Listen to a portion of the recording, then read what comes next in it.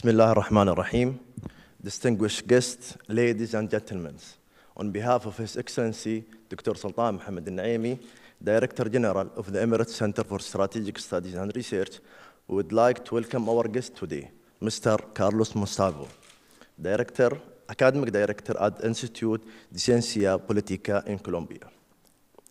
My name is Awad al-Breki, and I will be discussing today with Mr. Monsalvo the political and economic issue in Latin America for the next 30 minutes, and then we welcome our guest to discuss in Q&A session for the 15 minutes.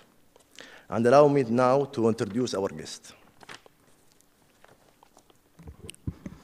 Mr. Monsalvo is the academic director at the Institute de Ciencia Politica, ICP, as well as the director of legislative project and security and, security and strategy coordinator for the ICP Policy Lab. He has a, a master's degree in national security and defense studies, as well as a law degree. It's my pleasure to have you today, Mr. Monsalvo. To provide some context in today's discussion, I would like to invite you to give us uh, some kind of overview on the most pressing political and economic issue in Latin America. So the floor is yours. Yeah, you can. Good morning to everyone. I am really honored to be here today to talk about Latin America and the perspectives of economic opportunities and political challenges. I want to be, uh, give you an overview for the situation of the region. According to the International Monetary Fund, outlook for Latin America and the Caribbean growth in 2022 is forecast to be the lowest of the region, lower than anywhere else in the world. It can be said that the economic recovery will not be rapid and sustained over time, and that the di direct and indirect effects of the pandemic will have long-term consequences. Due to the deficiencies in the economic policies adopted by the governments of the region, even before the pandemic. In addition, the region will have to face a complex and uncertain global context arising from the disruptions caused by the pandemic, such as the container and chips crisis, energy crisis, food prices, inflation, and public debt. According to the World Bank estimates, the region is expected to record an average growth of 2.8% in 2022, similar to that experienced between 2017 and 2019. A return to sluggish growth is expected despite clearly favorable external factors for a region that relies heavily on international trade, external financing, and commodity prices, this disappointing growth, growth is a major obstacle to the economic due to the domestic factors. In addition to these estimates, it is necessary to take into account that 99.5% of the productive sector in Latin America and the Caribbean is made up of small, micro, small, and medium enterprises, which generate approximately 60% of the employment in the region, which according to the World Bank data has fallen drastically and has not yet recovered. Let me give you a global view of the effects of the pandemic and prospects of, for recovery. According to the World Trade Organization, the world trade in goods had a 9.2% drop in 2020 and, and 7.2% recovery is expected in 2021. Likewise, exports from Latin America and the Caribbean fell at an annual rate of approximately 3.2% in 2020 after falling 2.2 in 2019. A rise in commodity prices in early 21 fueled a recovery in unreal GDP growth of 6.3% this year by 2022 GDP will grow by 3%. The region will remain below its pre-pandemic level at the end of 2021. Despite these growth projections, there is evidence of weaknesses in the labor markets that translate into unemployment and informality, particularly due to the effects of government measures to deal with the pandemic, such as quarantines and massive generalized closure of businesses and commerce. Acknowledging that the pandemic is a persistent problem, expectations for the coming months are optimistic, considering the improvement in global demand and rising commodity prices. This contrasts with the World Trade Organization data indicating that the world trade will be growth 8% by 2021, driven by China and expansionary policies in the United States and the European Union. It is important to consider that these sectors face restrictions, the sectors of the new uh, energy, petroleum, and gas. According to the Getulio Vargas Foundation regarding what some have called a new commodities boom, the expectation of one more year of high prices prevails, 58%, and in second place with a percentage of 23% by the end of 2021. It would not then be a super cycle of high commodity prices as it happened before. It is important to consider that these sectors face the restrictions that have been attempted to impose with the framework of policies promoted by the international community for climate change and energy transition issues, which include radical measures for countries to prohibit the exportation and exploration of hydrocarbons and coal, and even pressure for banks to reduce, definitively limit financing for projects in these sectors, as pointed out by the Financial Times in a November 3 article on the occasion of the COP26 summit in Glasgow. In addition, several countries in the region are facing strong social, political, and judicial activism against other extractive industries such as mining. On the other hand, it is highlighted in the report that around 25% of the specialists consider that the problem of shortages in inputs and or raw material is serious and 57% as moderate or slight. It should be noted that the larger, more div diversified and internationalized the production part is, the greater the probability of shortages. The economic recovery is marked uncertainty in the face of tightening global financial conditions, sovereignty debt, rollover risk, and social unrest as a year with an intense electoral calendar looms in countries such as Chile, Colombia, Brazil, and Argentina, with two possi possible radical shifts to leftist governments in Chile and Colombia that would put economic progress and political stability at risk. According to the last year's Latin America economic surveys of Getulio Vargas Foundation, there is a lack of confidence in economic policy due to the lack of innovation and adequate infrastructure, corruption, unfavorable cl climate for foreign investors, legal and administrative barriers for investors, lack of international competitiveness, and political instability. Added to this are the public debt problems of several regions countries, which in recent decades have gone into debt to finance public spending, while at the same time increasing the size of the state without this necessarily resulting in improved levels of development. In addition, public spending is inefficient in areas such as the public procurement, monetary transfer, subsidies, and salaries of public employees, according to a study of the Inter-American Development Bank.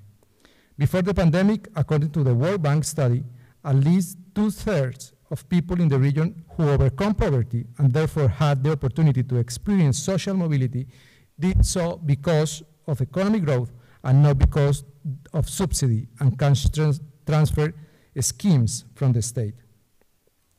It should, be called, it should be recalled that in the 20s, the emerging markets, such as Latin America ones, experienced rapid growth in the face of a surge in world trade and as a result of major reforms gathered towards free trade and insertion into global value chains, which coincided with the commodity boom that came to an end in the 20, 2010s.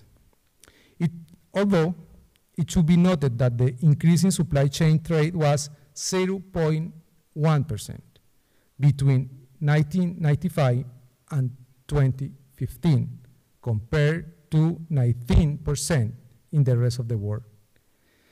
The Latin American countries that in recent decades managed to experience higher levels of productivity, economic growth, progress, prosperity, and democratic stability had something in common. Institutions that began to favor and guarantee economic freedoms, free trade, private property, the rule of law, and legal security. Of course, these achievements had been modest in comparison with other emerging economies.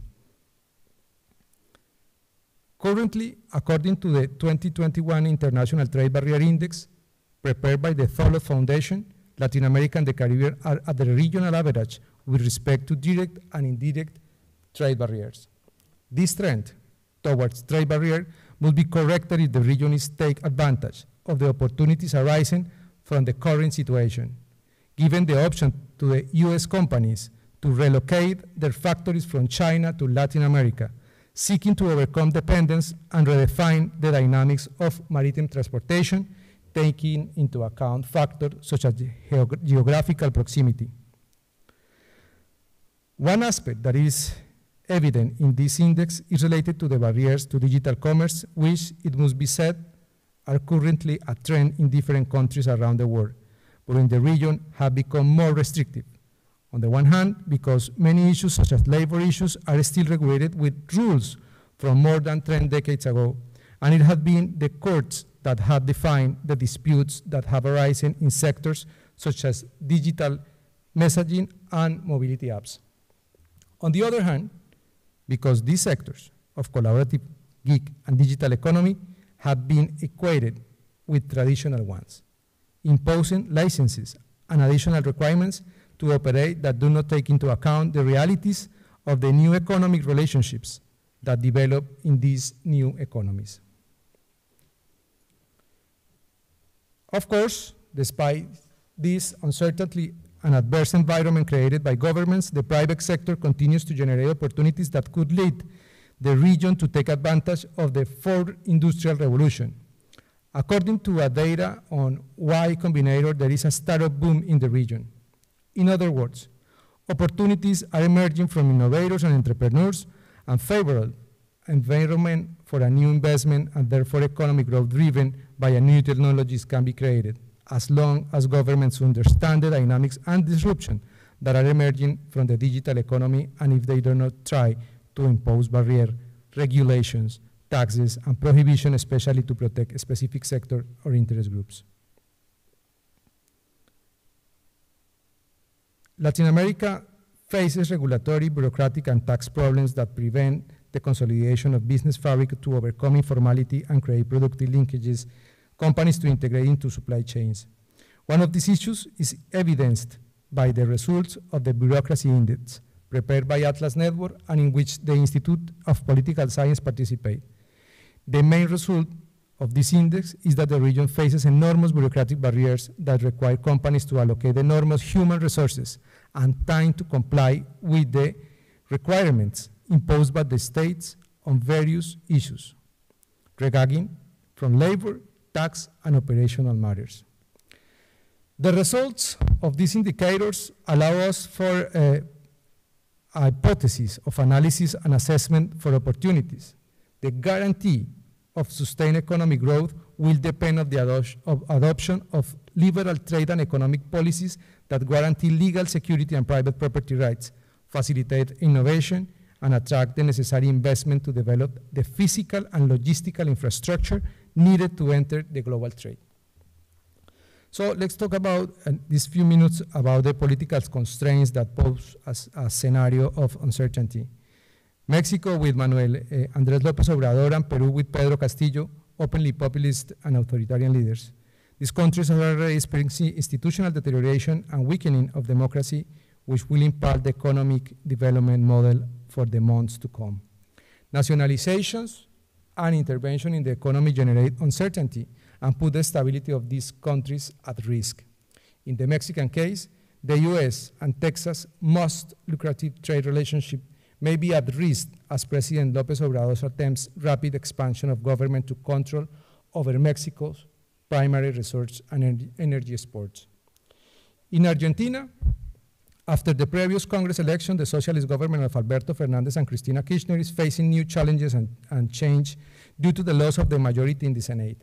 The new majority will try to force the government to change its interventionist and inflationary policies, which has reached 52% according to the OECD data, and has led, led the country to suffer hyperinflation, shortages, unemployment, devaluation, and increased poverty.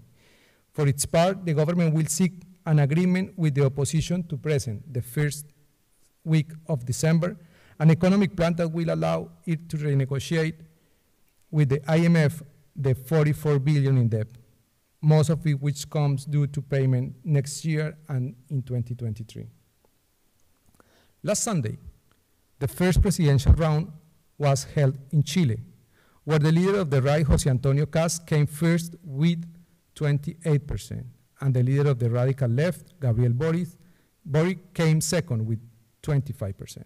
Both candidates are going to be in the second presidential round in December.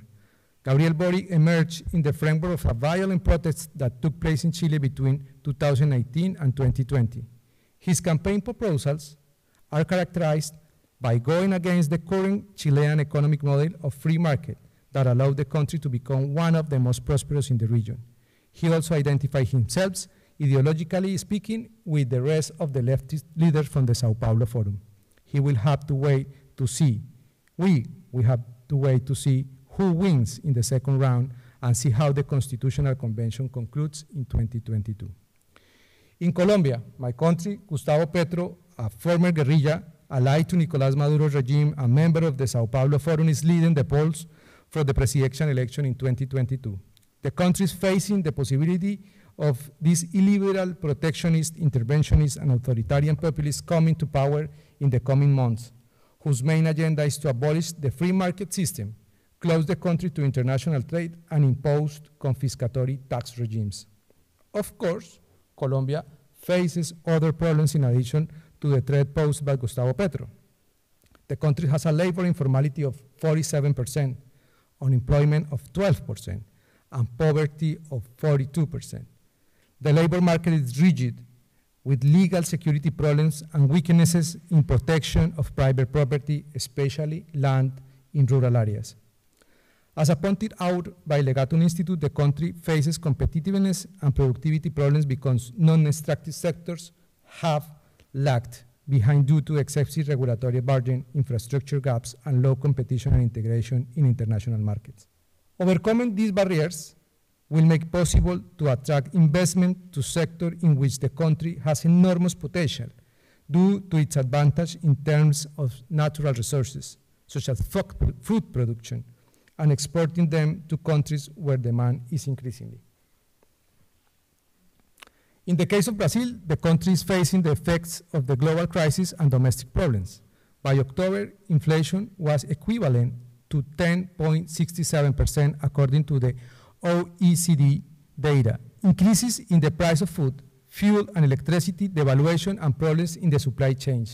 In a pre-electoral context in which Luis Ignacio Lula da Silva, leftist and member of the Sao Paulo Forum, could compete in 2024 for the president against current President Jair Bolsonaro, the government has opted for welfare policies and a scheme of monetary transfer financed through public spending, which could lead to higher inflation and interest rates, as pointed out by the Financial Times.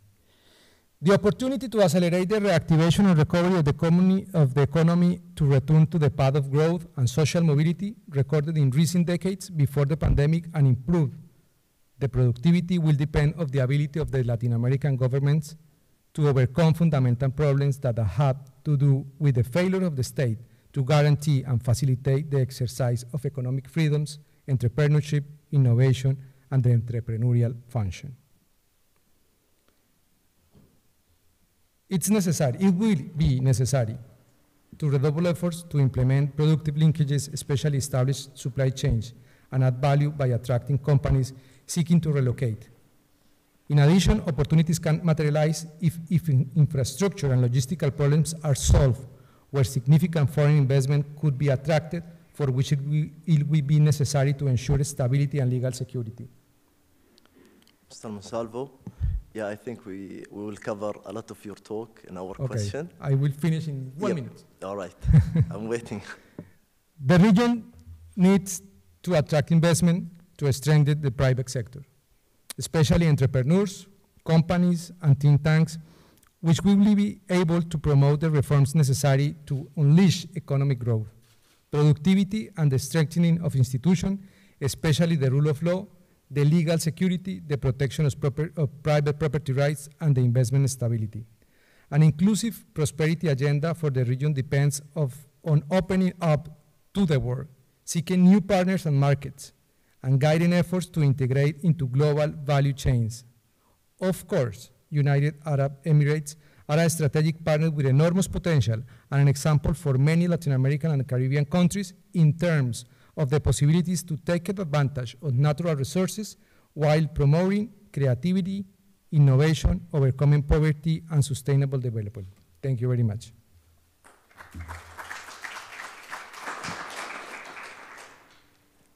Thank you, Mr. Monsalvo, for this informative insight. Uh, you touch upon uh, the climate change. And as we all know, climate change is one of the most significant issues facing not only Latin American countries, but also the whole world. So uh, from your perspective, Mr. Monsalvo, how do you assess uh, the collaboration between government, civil society, private sector in addressing this kind of, of, of issue in Latin America in general? Approaches to climate change problems are very different uh, between countries. Most governments, uh, they have established policies in favor the reduction of uh, greenhouse gas emissions. And the private sector, for its part, is making large investment to reconvert its production models in such a way that they are friendlier with the environment. Civil society have different attitudes. They are those who are radically opposed to business activity and to seek to ban sectors such as mining, oil, and gas. But the Latin American countries need to understand that the commitments from the international community needs to have an approach according to the reality. We are not a developed countries. We need to uh, take advantage of our natural resources, including new innovations, of course, to taking uh, action against the climate change, but according with our capacity. We need to develop better practices and strengthen the private sector to uh, take advantage of the, of the production and try to resolve structural problems as poverty and uh, the necessity to integrate to the uh, global change. Um, uh, and we also here in the UAE, we, ta we take uh, climate change very seriously. As you know, we are hosting COP28 in 2023. Do you think there's like some area of potential cooperation between UAE and Latin America in this field? Absolutely especially in the exchange and, and cooperation for development uh, of technology innovations, as well as the generation of scientific knowledge and research that allow to design of public policies based on evidence and data, which allow promoting an articulation between the public and the private sectors to guarantee economic growth under environmental sustainability criteria. we are still in the bilateral relation between Colombia and the UAE.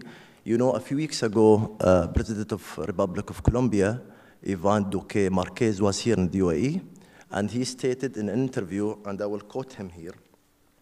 He said, I really believe that the next challenge to is to trouble trade relationship between Colombia and UAE in the next 24 months and be able to have the highest investment endeavor from UAE in Colombia.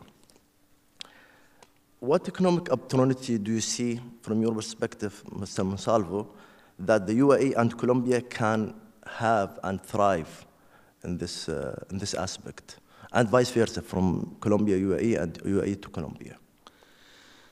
I think for Colombia it's important to stop looking at the United States and the European Union as the main commercial and diplomatic partners. The United Arab Emirates is a, an ally with enormous potential beyond investment in strategic sectors. Colombia has much to learn from this country and to take advantage of this relationship to become an important play player in the Arab world. This will depend on the ability to promote actions and projects in various areas, but especially in commercial exchange and in knowledge. The main restriction may be, of course, uh, for this kind of agenda, a radical change in the political environment in Colombia. But I think we have a lot of uh, opportunities, and we need to start identifying the shared values that we have and the role that we can play in the uh, international community. We can be strongest if we understand that as a countries, uh, South countries, or uh, improve the South-South cooperation, we can play a major role in the international community. That's very great. Um, allow me now to take you a little bit to the, to the Middle East.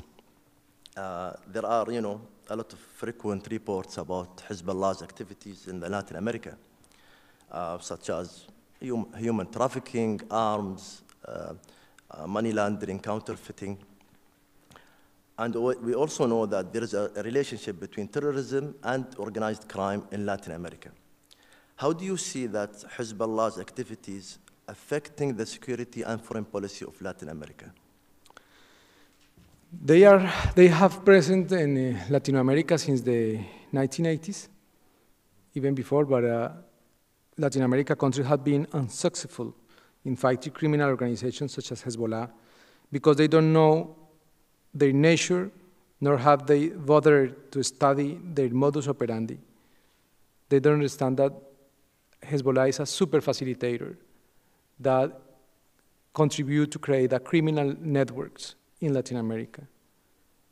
Some efforts have recently started to, to be made in the region. We at, at the ICP at the beginning of this year held a large international event with experts from the United States, Israel, and the United Arab Emirates to explain to the region the risks and threats that Hezbollah and Iran represent for the region. A policy needs to be defined to face the convergence of criminal networks and extra-regional actors. The region needs to cooperate with other countries that's facing the same threat to develop civil and military capa capabilities to confront these criminal groups and their illicit economies. Uh, but also, uh, there are a perception that uh, some Latin American countries, not all of them, they have some kind of lax uh, approach to Hezbollah's activities. Uh, do you see that, that some governments are working hard to address this issue, or they are, to some extent, they are happy to, to stay lax? To, some, to some governments are friendly with Hezbollah because they have eh, established relationship with Iran, like Venezuela, like Nicaragua, like Bolivia, like Cuba, because they understand that Hezbollah play a special and important role in their interest to disestablish the region. So Hezbollah is an important actor, a criminal actor. And uh, of course, other countries like Colombia, Brazil, and, uh, and even Argentina in, in different moments try to fight against Hezbollah. And Peru, for example.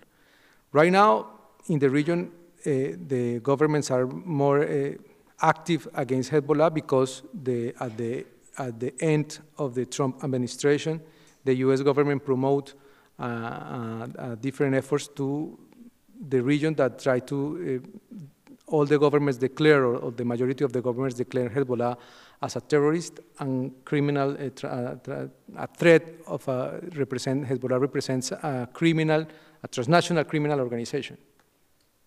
Uh, uh, and they are like working some legal aspect of uh, combating uh, Hezbollah in terms of like laws, or they are just. Uh, no, they declare that they, they fighting and they try to uh, understand how they operate.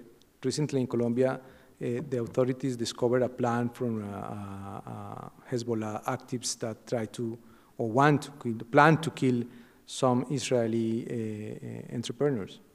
Mm -hmm. Uh, I think my last question will be Mr. Monsalvo uh, regarding the U.S.-China uh, competition. And uh, as you know, that U.S. is a new region, and my question will be now, um, how Latin American states perceiving or, or at least um, uh, taking the competition between US and China are they like taking aside or they try to balance the relationship between the two countries? For many decades, Latin America was not the priority of the US foreign policy. And China take advantage of that situation. China have established investment in strategic sec sectors in different countries in Latin America. Uh, and infrastructure, transportation, uh, finance, banking, telecommunications. And now, Estados Unidos want to, to fight the presence of China in Latin America and try to they stop it and, and control the situation. Latin American countries can't depend all the time of the foreign policy of the U.S. foreign policy, but needs to take uh, with uh, cautionary actions the actions also from China. We are in the middle of, of, the, of two countries that have interest in the region, but not real interest, strategic interest. Uh, more than a, a, partnership is a relationship based on the interest of uh, natural resources. So many countries in Latin America also want to, to uh, take advantage of the, the actual situation the, with the companies that the, in the US that are in China that want to relocate in Latin America. And it's a big opportunity for the region. I think Latin America needs to learn how to play in this new scenario of complexity and look at the rest of the world. Yep, I think uh, Latin America is uh, similar to other regions in the world who are caught up in the between the competition between US and China. Uh, thank you, Mr. Mursavo, for this great uh, insight. I really enjoyed it, and I think also the audience. And now allow me to open the floor for Q&A question. Please, uh, who want to ask a question, just raise your hand, and we'll take it from there. Mr. Mansav, thank you for your very comprehensive overview of Latin America, and thank you for attending uh, at the center. My name is Umar al-Marzougi. I'm in the research department. I wanted to go back to your point about the balance between economic considerations and environmental responsibilities within Latin America. While there are challenges and economic challenges that are created by meeting those responsibilities, there are also new opportunities within new sectors such as renewable energy. So how well positioned are Latin American countries in order to become leaders within these new industries? Thank you. Thank you. Absolutely. Latin America needs to go forward with the energy transition, but right now the region faces different problems.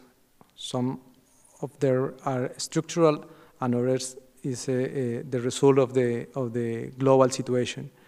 But Latin America needs to attract, invest for the conventional sectors to improve the production of energy and that invest in innovation for the energy transition. It's a, a, a big opportunity, and I think in this moment, uh, after the, the COP26 in Glasgow, Latin America needs to recognize that there are not, a, they are not, or we are not a, a important player in that kind of summit. If we want to, to advance in becoming a, a real important actor, we need to attract investment and lead the energy transition uh, in the region and in face of the necessities of the world. You know, this, in this moment, the world faces an energy crisis. And we in Latin America have enough uh, natural resources to provide energy. It's uh, amazing that in some countries, the politicians try to uh, change the model of uh, extraction of hydrocarbons uh, to one day to another, forgetting the reality of the energy sector. Hello, hello Mr. Monsalve. Um, thank you for your presentation. Um, my name is Javier Rojas. I am from Rabdan Academy. And my question is, well, you know, Latin America, one of the common features um, is that we all have presidential systems. I, I am from Mexico, like the US. So in the last two elections in the US, we, we have noticed that there is increasing polarization. And this is also something, you know, that is uh, happening in Chile. We also, you know, saw that in, in, in Brazil, you know, all this move from Excuse Lula. Me. Can you take your mask, please? Sorry, yeah. yeah. Thank you. Can you, can you listen to me better? So I was just wondering, how do you, how resilient do you think democracy will be in the coming years? In, I mean, if this increasing polarization um, continues to be characteristic, because you know, in the in the case of the U.S., I mean, it's one of the oldest democracies, and they were um, it was resilient.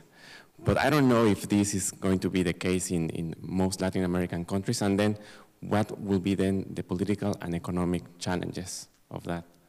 Absolutely. The, the, the, first part of the, of the presentation uh, that I made for this uh, uh, event, I talk about the populism.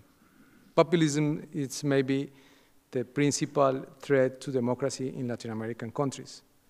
We faced uh, uh, problems, especially because our institutional demo or democratic institutions are very weak. And in the recent years, the advance of uh, populism is the result of the actions, deliberate actions, and systematically actions of organizations like the Foro de Sao Paulo or the Grupo de Puebla, that they want to promote populist leaders to take the control of the, of the countries, and they are socialist. And as you know, the socialists, uh, from uh, at least in the Latin America perspective, they are anti-free market, they are anti-business.